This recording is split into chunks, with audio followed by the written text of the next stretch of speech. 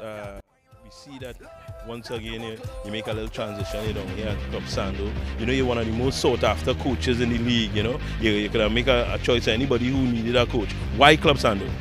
Um, I like the vision, you know, um, as the only team in South, and I think we could get good support from the people in South once they buy into the team. You know, in Trinidad we like winners. Also, the uh, the chairman when he spoke to me, you know, he wanted to have a young team. He wanted to develop a team over years, and that's my passion. I love coaching young people and bringing them from one place to the next level. All right, this year in the, in the Pro League, you know, uh, we have a, a, sort of truncated season. What's the expectations at Club Sando? I know you say he's a winner, you know, but what's the expectations at Club Sando for this uh, 2016 season? You know, winning is not all about titles and trophies, but in the, in the, in the, in the, realm of professionalism, it is because results determine um, your worth and that kind of thing. So, uh, we're hoping to get in two finals in, in some of the cups.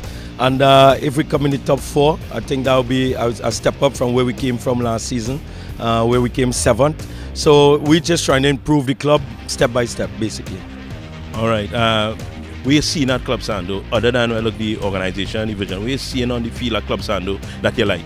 Well, the youngsters, you know, I, I love young players. Um, uh, we have mainly Trinidadian players. Also, I like to develop our country. So we, we have a young group of players. They, they're playing for each other. They're passionate about the game, and they're willing to learn. And that's the most important thing, you know. And um, down in South, you know, that it's a footballing place. You know, South people like to come out and watch the sport. So, yeah. With the Pro League, you know, doing for, for, for football in Trinidad and Tobago?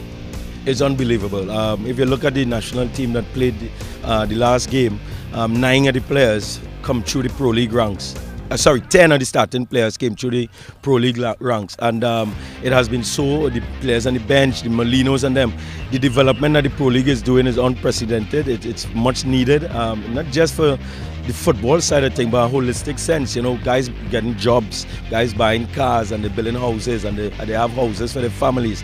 It's taking them away from bad areas, Carenage and Morvant and Laventille, and they're getting a chance to do something different with their life instead of getting in, in, instead of being in crime.